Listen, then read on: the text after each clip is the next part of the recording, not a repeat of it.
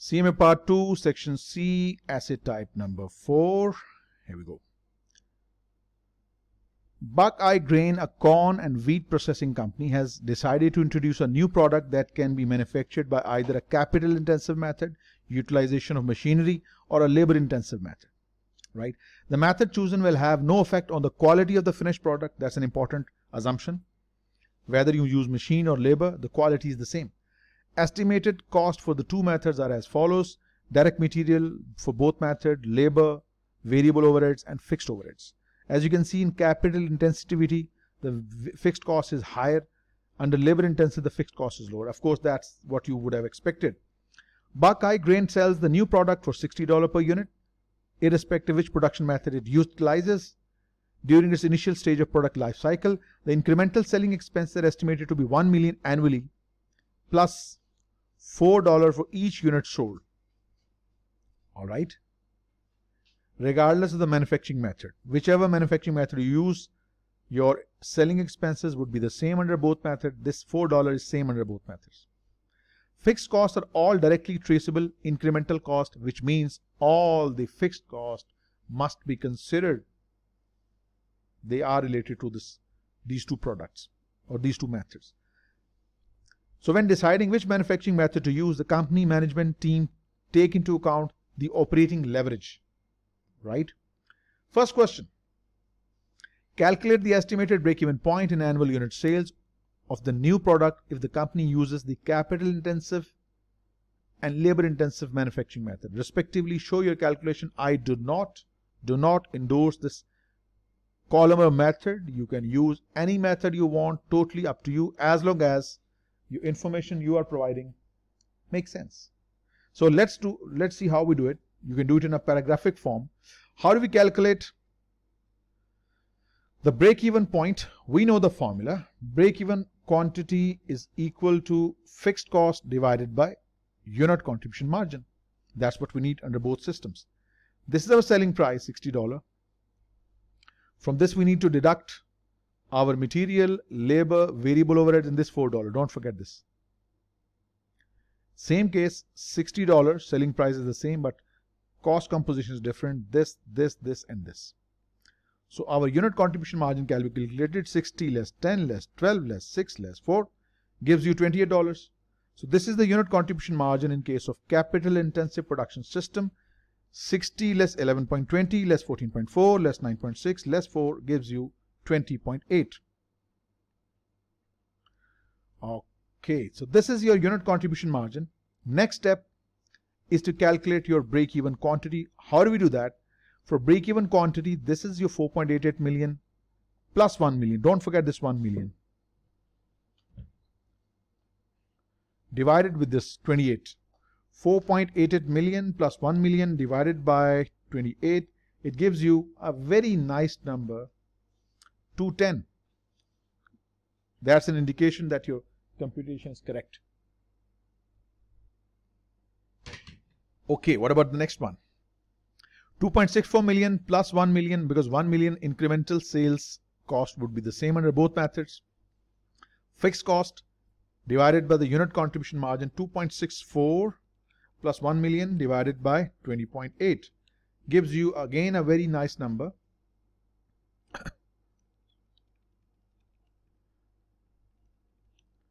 One seventy five That's all. You want to give it in a paragraphic form? Go for it. 210, 175 and reasonable computation are sufficient to convince the examiner that you've done the right job. Here we go. Whichever method you want, that's the result. 210, 175. This nicety, if you can afford to, if you can manage within the time, fine. But I recommend whichever method you use should take less time. Paragraphic form is recommended because it takes much lesser time.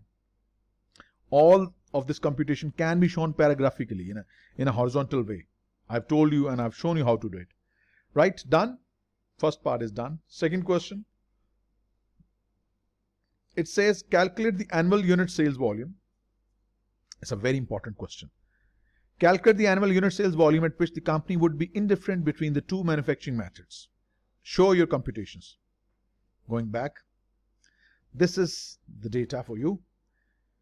We want to calculate that level of output for which whether we take this method or this method, we are equal, we are indifferent whether we go for capital intensive or labor intensive. What that level of output be? First of all, let us see what does it cost to make under capital intensive. Material, labor, variable overheads, and this $4. That is 10 plus 12 plus 6 plus 4. The total cost of manufacturing each unit is $32 under capital intensive, 11.2, 14.4, 9.6 and 4, 39.2 in case of in case of labor intensive, right? Fixed cost in this case, if we add 1 million to it, total cost will be 2.64 million. 2.64 million plus 1 million would be simply 3.64 million. And total cost in case of capital intensive will be 4.8 plus 1 is 5.88 million. Gentlemen, ladies, it's a special question of indifferent point. What should be the level of output at which whether I take capital intensive or labor intensive method, my cost would be the same. That's the point, right? I want my cost to be the same. What that level of output be? So let's consider that output to be Q. That output to be Q. If I use the capital intensive method, what my cost be? My cost would be 32Q representing the variable cost plus 5.88 million. I want this cost to be equal to the cost incurred under the labor intensive method. In this case, the cost is 39.2Q plus 3.64 million. Cost under both the methods are the same. That's what I'm interested in, right? Cost 32Q plus 5.88 million. This is the cost of producing Q units under capital intensive method. 39.2Q plus 3.64Q. That's the cost under labor intensive method. Making Q the subject of this equation, I'm going to simply write down the net result 39.2 less 32Q. is 7.2Q to this side is equal to 5.88 million less 3.64 million gives you 2.24 million, right? 2.24 million. So making Q the subject and divided with 7.2, what you get is 311111. This is the level of output at which if you put Q here, if you put Q here, this is a very, I'm going to draw a very, very very important conclusion and I want you people to pay full attention. This is the level of output at which the cost incurred under capital intensive method and under labor intensive method would be the same. You can try it your way. Put 311111 on the right side or on the left side, the cost would be the same.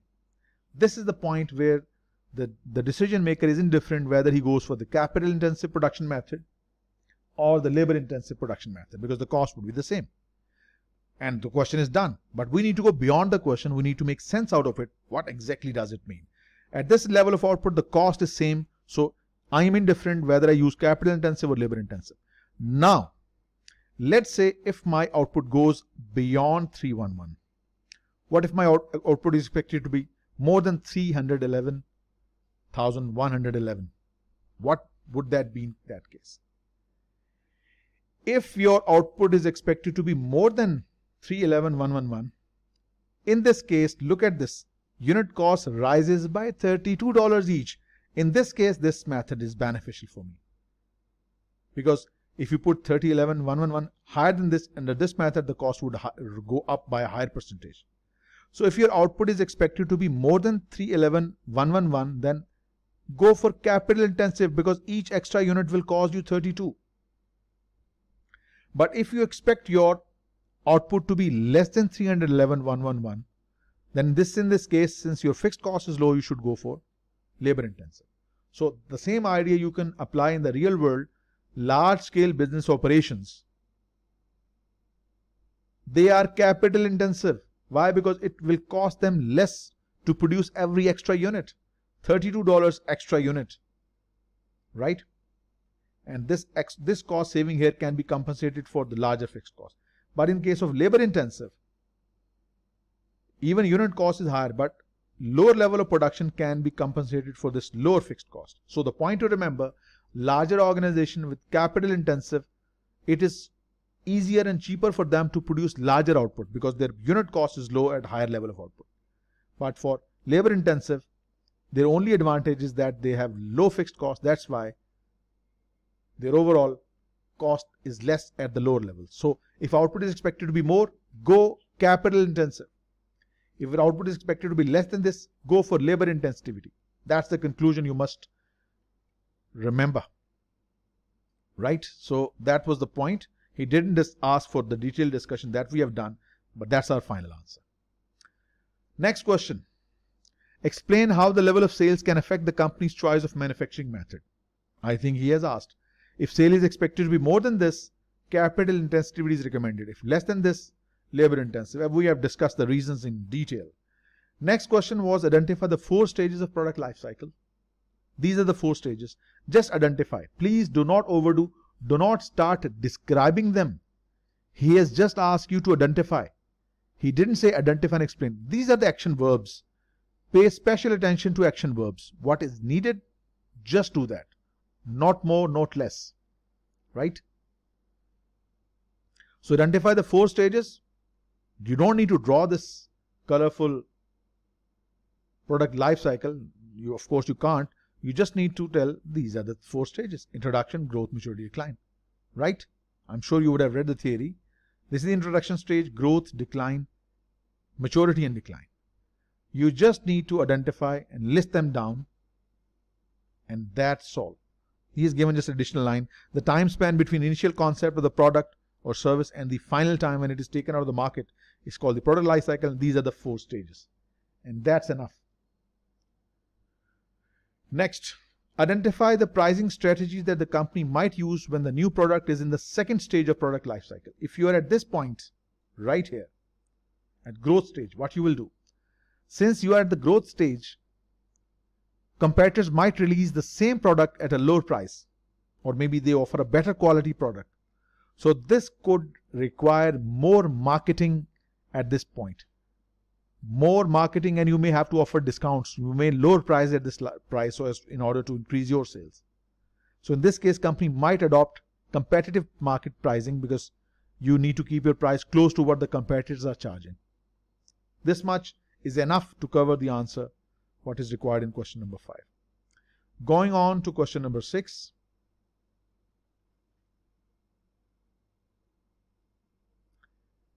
Explain operating leverage and its relationship with the business risk. I'm sure you would have read your theory, CMA Part 2 Section B, Corporate Finance. It has been discussed there, leverage issues has been discussed over there.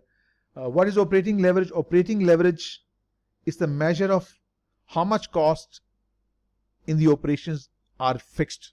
Rent, insurance, property taxes, fixed salaries of executive management. Greater the fixed cost, greater would be the operating leverage. Greater the proportion of fixed cost, greater would be the operating leverage. What is leverage? Leverage is the power of the company to, to generate returns. There are two types of leverages operating leverage and financial leverage. Operating leverage stems from the fact that fixed costs are a larger proportion of your operations. If a company has a, a major part of its cost as fixed, we say this company has a high operating leverage. If company has less fixed cost, we say it has less operating fixed uh, operating leverage. A company with larger fixed cost means it has a larger capacity, larger uh, management team, bigger operations, larger space. It can generate more returns. Whereas a company which has less fixed costs, it means it will be smaller in size. So remember, the companies that have larger fixed costs are normally bigger organization with higher potential to earn. A leverage means ability to generate returns. More fixed cost means you have more power to generate more returns. At the same time, it could backfire. A larger business which has more fixed cost can find itself in a very serious trouble right now. Many big companies like Airbus, Boeing, even uh, General Motors, many big firms with very high operating leverage because of business downturn, they are in very difficult situation. They are laying off staff. So operating leverage is a measure of risk. Larger the fixed cost as a proportion of total cost, higher is the operating leverage, higher is the risk. So basically, if a company has a higher fixed cost, swing in business activity can put in a very serious trouble. Leverage is good as long as you're doing well, you're generating returns, leverage is good. But it could be a nightmare for you, like in current circumstances, when you have to cover your fixed cost but revenue has fallen drastically. That's the point. Greater the operating leverage and the resultant variability in operating income, the greater is the degree of business risk. You can higher the risk, higher is the return. If you have higher great operating leverage, you will make more return.